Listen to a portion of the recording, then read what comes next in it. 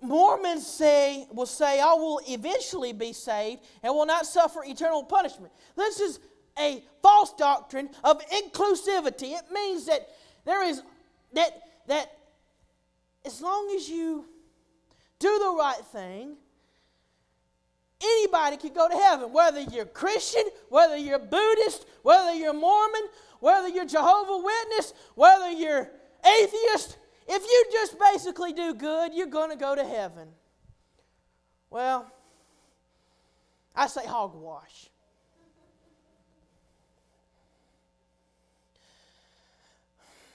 Much of what we know about hell is from the greatest preacher of them all.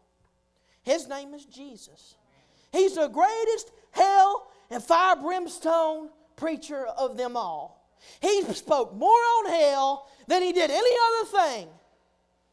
And yet, there's people out there that still question it. They're not questioning man, they're questioning God Himself.